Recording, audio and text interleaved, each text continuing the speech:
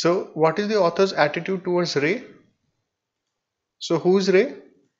Ray is a holistic theorist and the author is definitely in favor of that theory as written here.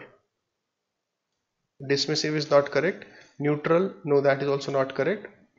Informational, no. Complimentary, yes this is a good choice. Adulatory, now adulatory is too strong a word. We don't have any reason to believe that author is adulating Ray.